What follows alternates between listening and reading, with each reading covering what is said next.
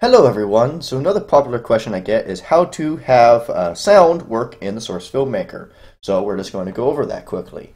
So if we come over here, you'll see that I have a sound in here. It's just a Left 4 Dead 2 sound that I modified a bit.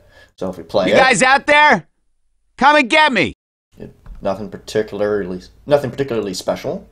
So now we just come down here and we add the clip to track. There it is right there. So if I click it, you notice it doesn't play sound. If I come in and hit space, it doesn't make sound. Okay, so let's take a look at it over here. Let's open up Audacity and let's convert it and make it work.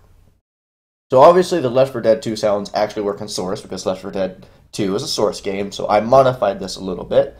Is I just changed, among other things, its project rate and a few other ways that it's saved. So here's it in Audacity. You guys out there?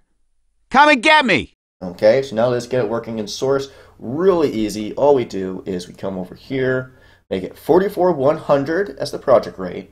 Has to be 44100. Come over here, make sure it's at 32-bit float, and go File, Export Audio as a wave, signed 16-bit. I don't think there's any options. No, so just save. Okay. And then we come over here, and this is the file we just saved.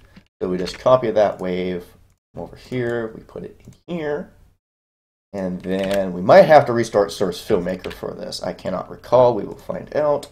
Rescan, You guys out there? Come and get me.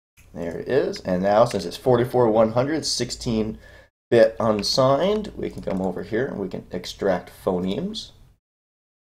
You guys out there? Come and get me.